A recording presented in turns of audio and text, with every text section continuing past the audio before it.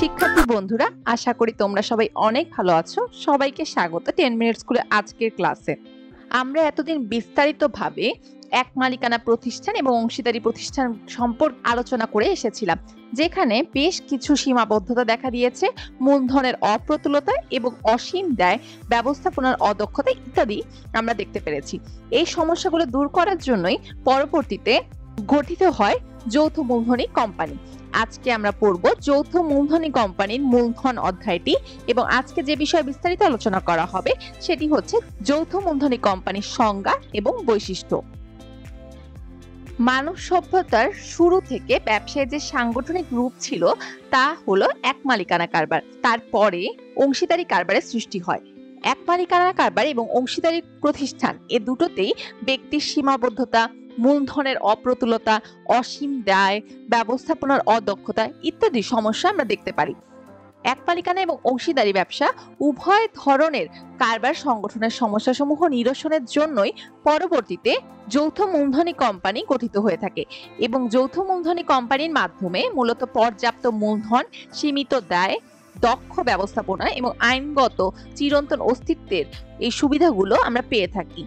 আঠারোশো চুয়াল্লিশ সালে সর্বপ্রথম ইংল্যান্ডে কোম্পানি আইন প্রবর্তন করা হয়। এরপর ভারতে উনিশশো তেরো সালে কোম্পানি আইন চালু করা হয়।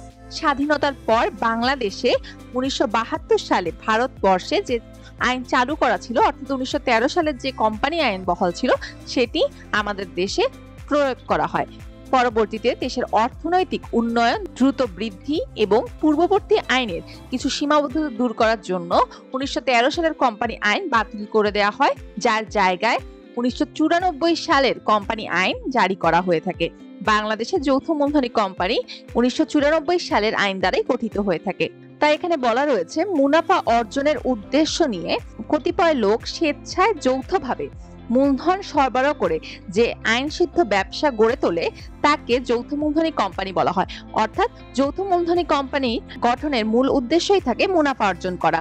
এরপর অবশ্যই নিজের ইচ্ছা থাকতে হবে এবং যৌথভাবে ব্যবসায় মূলধন বিনিয়োগ করতে হবে, যা উনিশশো চুরানব্বই সালের জারিকৃত আইন অনুযায়ী ব্যবসা প্রতিষ্ঠান গড়ে তুলতে হবে এবং সেটি হবে যৌথ মূলধনী কোম্পানি যৌথ মূলধনী কোম্পানি উনিশশো চুরানব্বই সালের কোম্পানি আইন অনুযায়ী প্রতিষ্ঠিত।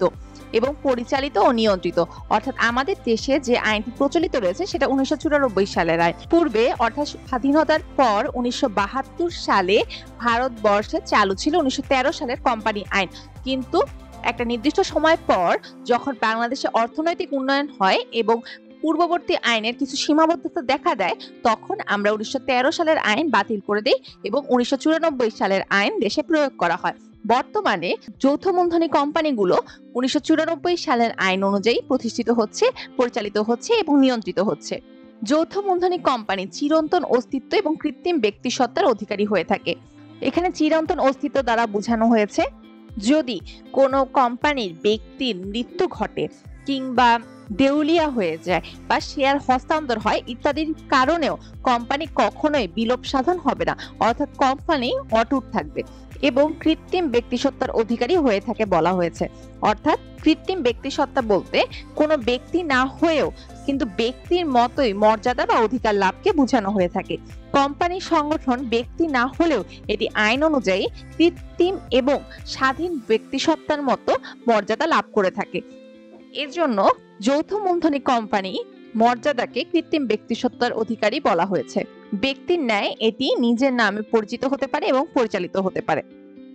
তাহলে আমরা বুঝতে পারলাম মুনাফা অর্জনের উদ্দেশ্য নিয়ে কয়েকজন ব্যক্তি সম্মিলিতভাবে বাংলাদেশের আইনসম্মত উপায়ে যে কারবার গঠন করে তাকে যৌথ মূলধনী কোম্পানি বলা হয়।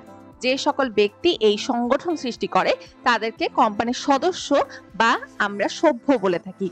আইন অনুসারে সৃষ্ট এরূপ সংগঠনগুলোকে পৃথক সত্তা লাভ করে এবং ওই সত্তা সদস্যদের সত্তা থেকে আলাদা হয়ে থাকে।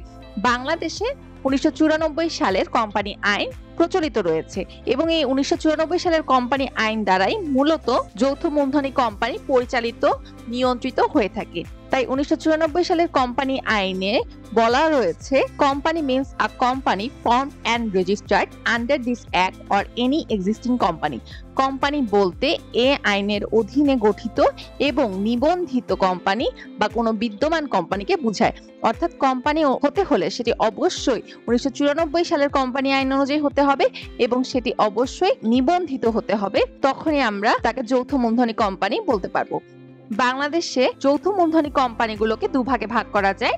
একটি হচ্ছে প্রাইভেট লিমিটেড কোম্পানি অপরটি পাবলিক লিমিটেড কোম্পানি তো প্রাইভেট লিমিটেড এবং পাবলিক লিমিটেড কোম্পানি এই দুটো কোম্পানি সম্পর্কে আমরা পরের ক্লাসগুলোতে বিস্তারিতভাবে আলোচনা করব। এছাড়া বিচারপতি এল জে লিগুলে বলেন কোম্পানি হলো এমন একটা স্বেচ্ছামূলক সংঘ বা কতিপয় ব্যক্তির মিলিত সংগঠন যেখানে ব্যক্তিবর্গ অর্থ বা অর্থের সমমূল্যের সম্পদ জমা করে একটি সাধারণ তহবিল গঠন করে এবং যা কোনো ব্যবসা বা কারবারে বিনিয়োগ করে অর্জিত মুনাফা বা লোকসান নিজেদের মধ্যে বন্টন করে নেওয়া হয়। অর্থাৎ কোম্পানিটি অবশ্যই স্বেচ্ছামূলক সংঘ হতে পারে এবং অবশ্যই সেটি স্বেচ্ছায় কয়েকজন ব্যক্তি মিলে গঠিত হতে হবে এবং সেই গঠিত ব্যক্তিরাই পরবর্তীতে অর্থ বা অর্থের সমমূল্য সম্পদ জমা করে একটা সাধারণ তহবিল গঠন করবে এবং এই যে তহবিল তারা গঠন করবে সেটি তার পরবর্তীতে কারবারে বিনিয়োগ করে মুনাফা অর্জন করবে এবং যদি লোকসান হয়ে থাকে তাহলে নিজেদের মধ্যে তা বন্টন করে নেবে।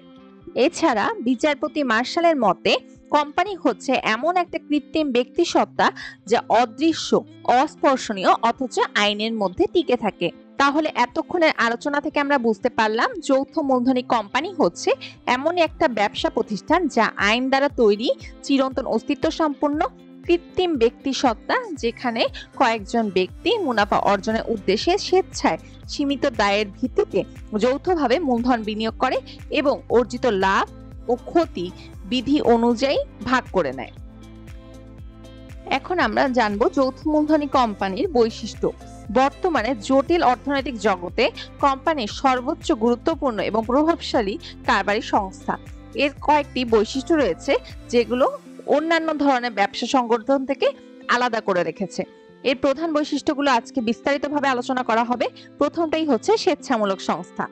স্বেচ্ছায় প্রণোদিত হয়ে যখন কয়েকজন ব্যক্তি মিলে একটা কোম্পানি গঠন করে এবং কোম্পানি গঠনে কোনো ব্যক্তিকে অবশ্যই বাধ্য করা যাবে না, সেটা অবশ্যই নিজ ইচ্ছায় হতে হবে, সেজন্য এটাকে স্বেচ্ছামূলক সংস্থা বলা হয়েছে এবং এ ব্যবসায় যে কেউ শেয়ার কিনে যোগ দিতে পারে। এর পরেরটি হচ্ছে আইনে সৃষ্ট। আমরা একটু আগেই আলোচনা করে এসেছি যে বাংলাদেশে উনিশশো সালের কোম্পানি আইন দ্বারা কোম্পানি গঠিত হয়ে থাকে এবং যৌথ মূলধনী কোম্পানিকে আইনসৃষ্ট প্রতিষ্ঠান হিসেবে আমরা গণ্য করে থাকি। এর পরেরটি হচ্ছে বাধ্যতামূলকভাবে নিবন্ধন। কোম্পানি অবশ্যই বাংলাদেশে যে প্রচলিত রয়েছে উনিশশো চুরানব্বই সালের আইন, সেই আইন অনুসারে নিবন্ধিত হতে হবে। নিবন্ধন ছাড়া কোনো কোম্পানি গঠিত হয় না।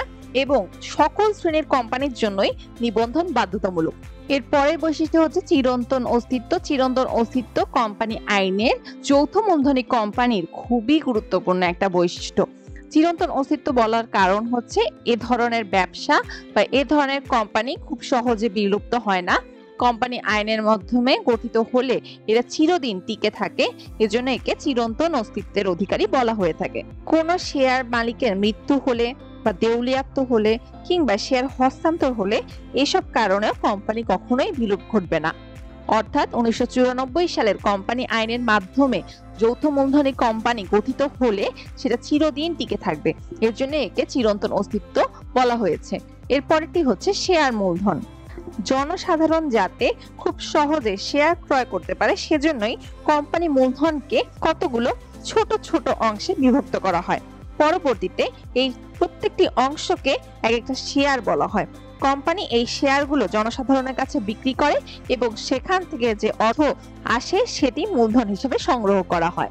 এর পরেরটি হচ্ছে সীমিত দায় বা লিমিটেড লায়াবিলিটি আমরা অংশীদারি ব্যবসার ক্ষেত্রে দেখে এসেছি অসীম দায় সম্পন্ন হয়ে থাকে, যার কারণে পরবর্তীতে ব্যবসায় অনেক ধরনের সমস্যার সম্মুখীন হতে পারে। কিন্তু যৌথ মূলধনী কোম্পানির ক্ষেত্রে এটি খুবই ভালো একটা বিষয় যে সীমিত দায় থাকে।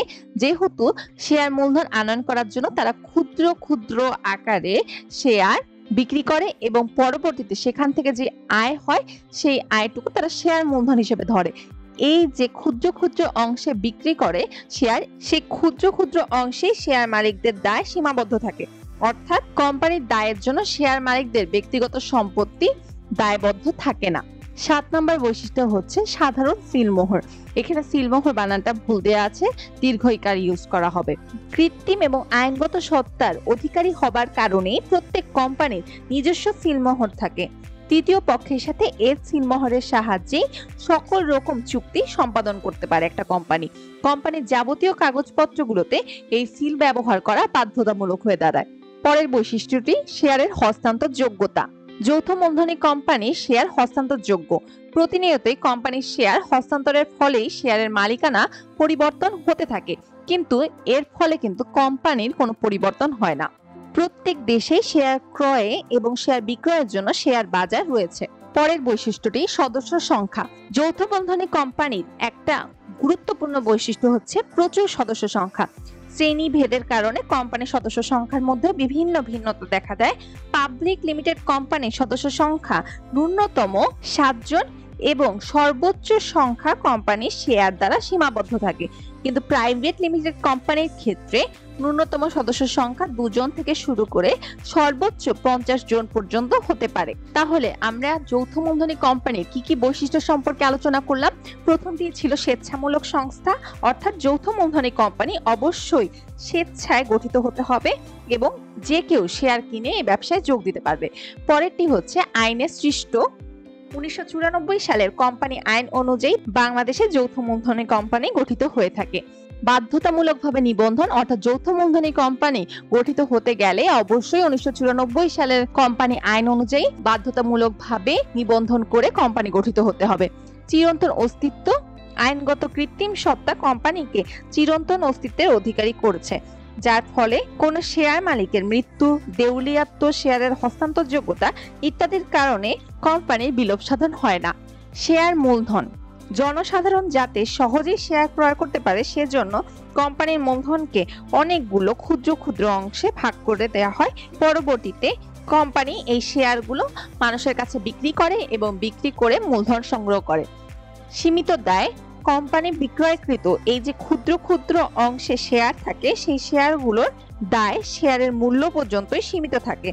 অর্থাৎ কোম্পানির দায়ের জন্য শেয়ার মালিকদের ব্যক্তিগত সম্পত্তি কোনোভাবেই দায়বদ্ধ থাকে না। সাধারণ সিলমোহর, কৃত্রিম এবং আইনগত সত্তার অধিকারী হবার কারণেই প্রত্যেক কোম্পানি নিজস্ব সিলমোহর থাকে। তৃতীয় পক্ষের সাথে এ সিলের সাহায্যে সকল রকম চুক্তি সম্পাদিত হয়। কোম্পানির যাবতীয় কাগজপত্রে সিল ব্যবহার করা বাধ্যতামূলক। শেয়ার হস্তান্তরযোগ্যতা, অর্থাৎ এই শেয়ার খুব সহজে একজন থেকে আরেকজনে হস্তান্তর করা যায়। কিন্তু এর ফলে মালিকের পরিবর্তন হলেও যৌথ মূলধনী কোম্পানির কোনো অসুবিধা বা পরিবর্তন হয় না। সদস্য সংখ্যা অনুযায়ী যৌথ মূলধনী কোম্পানিকে দুটো ভাগে ভাগ করা যেতে পারে, একটা প্রাইভেট লিমিটেড কোম্পানি আর একটি public limited company private limited কোম্পানির সদস্য সংখ্যা দুই থেকে পঞ্চাশ জন পর্যন্ত হতে পারে এবং পাবলিক লিমিটেড কোম্পানির ক্ষেত্রে সদস্য সংখ্যা ন্যূনতম সাতজন থেকে শুরু করে সর্বোচ্চ সদস্য সংখ্যা শেয়ার দ্বারা সীমাবদ্ধ থাকে। শেষ কিছু বৈশিষ্ট্য রয়েছে, তা হচ্ছে যেমন অধিক মূলধন। যেহেতু কোম্পানির সদস্য সংখ্যা অন্যান্য ব্যবসায়ের তুলনায় অনেক বেশি, সেই অনুযায়ী প্রচুর মূলধন আমরা খুব সহজে এই ব্যবসায় সংগ্রহ করতে পারি এবং পাবলিক লিমিটেড কোম্পানির ক্ষেত্রে এই সুবিধাটা অনেক বেশি ভোগ করা যায়। গণতান্ত্রিক ব্যবস্থাপনা। কোম্পানি পরিচালনার ক্ষেত্রে গণতান্ত্রিক নীতি অনুসরণ করা হয়। অর্থাৎ কোম্পানির সকল সিদ্ধান্ত গ্রহণের ক্ষেত্রে সংখ্যাগরিষ্ঠ যে মতামত দেয়, সেই মতামতটাকে গুরুত্বের সাথে নিয়ে কোম্পানি পরিচালনা করা হয়ে থাকে। পৃথক ব্যবস্থাপনা। কোম্পানির প্রকৃত মালিক থাকেন মূলত শেয়ার হোল্ডারগণ অর্থাৎ যারা ওই ক্ষুদ্র ক্ষুদ্র আকারের শেয়ারগুলো ক্রয় করে। কিন্তু শেয়ার হোল্ডারগণ কোম্পানির পরিচালনায় কোনোভাবেই অংশগ্রহণ করে না। শেয়ার হোল্ডাররা নির্বাচিত পরিচালকদের উপর কোম্পানি পরিচালনা এবং নিয়ন্ত্রণের দায়িত্ব দিয়ে দেন। এ কারণেই বলা হয়ে থাকে পৃথক ব্যবস্থাপনার কথা। নিবন্ধিত কার্যালয়। যৌথ মূলধনী কোম্পানির ক্ষেত্রে সকল শ্রেণির কোম্পানির জন্যই অবশ্যই একটা নিবন্ধিত অফিস থাকবে এবং কোম্পানির যাবতীয় যত যোগাযোগের বিষয়ে রয়েছে, সেই যোগাযোগের কেন্দ্রবিন্দুই হবে ওই নিবন্ধিত অফিস, যেখানে যে কোনো প্রয়োজনে মানুষ যোগাযোগ করতে পারবে। লভ্যাংশ বন্টন। যখন যৌথ মূলধনী কোম্পানিতে কোনো মুনাফা অর্জন হবে, সেই অর্জিত মুনাফা পুরাটাই কোম্পানি, তাদের যে শেয়ার হোল্ডার রয়েছে, তাদের মধ্যে বিতরণ করবে না। পরিচালনা পরিষদের সাধারণ সভা অনুষ্ঠিত হবে, সেখানে অনুমোদন দেয়া হবে আদায়কৃত মূলধনের উপর একটা নির্দিষ্ট পরিমাণ লভ্যাংশ ঘোষণা এবং বন্টন, এ সম্পর্কে তথ্য দেয়া হয়ে থাকবে। পরবর্তীতে সেই অনুযায়ী লভ্যাংশ বন্টন করা হয়ে থাকে। সদস্য পদ। কোম্পানিতে এক বা একাধিক শেয়ার কিনে যে কোনো ব্যক্তি সদস্য পদ লাভ করতে পারে। সদস্য পদ লাভ করার জন্য শেয়ার ক্রয় করা অপরিহার্য হয়ে দাঁড়ায়। যদি কোনো শেয়ার হোল্ডার মারা যেয়ে থাকেন, তাহলে তার উত্তরাধিকারী সংশ্লিষ্ট কোম্পানির সদস্যপদ পেয়ে যাবে। সর্বশেষটি হচ্ছে অবসায়ন বা বিলোপ সাধন। কোম্পানি যেহেতু একটা আইন সৃষ্ট প্রতিষ্ঠান, সেজন্য যে কেউ ইচ্ছা করলেই এর বিলোপ সাধন করতে পারবে না। কারণ এটি কিন্তু চিরন্তন অস্তিত্ব বিশিষ্ট একটি প্রতিষ্ঠান। সে কারণে এর বিলোপ সাধন করতে হলে আইনগত যে আনুষ্ঠানিকতা রয়েছে সেটা পালন করতে হবে এবং অনেক সময় শেয়ার হোল্ডারদের ইচ্ছায় বা আদালতের নির্দেশে এর বিলোপ সাধন বা অবসান ঘটতে পারে। তাহলে আমরা এতক্ষণ যে বৈশিষ্ট্যগুলো আলোচনা করলাম সেগুলো আবার একটু সংক্ষেপে জেনে নেই। এখানে অধিক মূলধন বলতে বোঝানো হয়েছে। যেহেতু যৌথ মূলধনী কোম্পানিতে অনেক সদস্য থাকে, সেজন্য তুলনামূলকভাবে অন্যান্য ব্যবসা থেকে প্রচুর মূলধন সংগ্রহ করা যেতে পারে এবং পাবলিক লিমিটেড কোম্পানি যদি হয়ে থাকে, সেখানে বেশি সুবিধা পাবে। এরপরেরটি হচ্ছে গণতান্ত্রিক ব্যবস্থাপনা, অর্থাৎ যৌথ মূলধনী কোম্পানিতে যেসব সদস্য রয়েছে, তাদের সংখ্যা গরিষ্ঠ যে মতামত দিবে, সেই মতামতটাকেই গুরুত্বের সাথে গ্রহণ করা হবে। এছাড়া ছিল পৃথক ব্যবস্থাপনা। কোম্পানির প্রকৃত মালিক শেয়ার হোল্ডারগণ হলেও কোম্পানি পরিচালনায় তারা অংশগ্রহণ করে না। শেয়ার হোল্ডারদের দ্বারা নির্বাচিত থাকে পরিচালকগণ এবং এই পরিচালকগণই কোম্পানি পরিচালনা এবং নিয়ন্ত্রণের দায়িত্ব গ্রহণ করে থাকে। এর জন্যই বলা হয়েছে পৃথক ব্যবস্থাপনা। এরপরেরটি হচ্ছে নিবন্ধিত কার্যালয়। অর্থাৎ যৌথ মূলধনী কোম্পানির অবশ্যই একটা হেড অফিস থাকতে হবে বা কেন্দ্রবিন্দু থাকতে হবে, যেখানে যত ধরনের প্রয়োজন আছে সব কিছুর জন্য মানুষ যোগাযোগ করতে পারে। লভ্যাংশ বন্টন, একটা যৌথ মূলধনী কোম্পানিতে অনেক লভ্যাংশ হলেও সবটুকু লভ্যাংশ যে শেয়ার হোল্ডারদের মধ্যে বন্টন করে দিতে হবে এমন কিন্তু না। এখানে কিছু প্রক্রিয়া রয়েছে, যেমন পরিচালনা পরিষদের সভা হয় এবং সেই সভায় অনুমোদন অনুযায়ী আদায়কৃত মূলধনের উপর একটা নির্দিষ্ট পরিমাণে লভ্যাংশ ঘোষণা করা হয় এবং সেই পরিমাণে লভ্যাংশই শুধু বন্টন করে দেওয়া হয়। সদস্য পদ কোম্পানির এক বা একাধিক শেয়ার একজন ব্যক্তি কিনলেই সে কিন্তু কোম্পানির সদস্য হতে পারবে এবং সদস্যপদ লাভ করার জন্য অবশ্যই শেয়ার ক্রয় করতে হবে।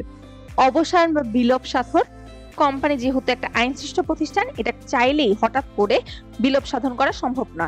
বিলোপ সাধনের জন্য কিছু আইনগত আনুষ্ঠানিকতা নিতে হবে এবং কিছু কিছু সময় শেয়ার হোল্ডারদের যদি ইচ্ছা থাকে এবং আদালতের নির্দেশ দেওয়া হয়, তাহলে সেটির অবসায়ন ঘটতে পারে। আশা করি শিক্ষার্থী বন্ধুরা, আজকের ক্লাস তোমরা বুঝতে পেরেছ। সবাইকে অনেক ধন্যবাদ পুরো ক্লাস জুড়ে থাকার জন্য।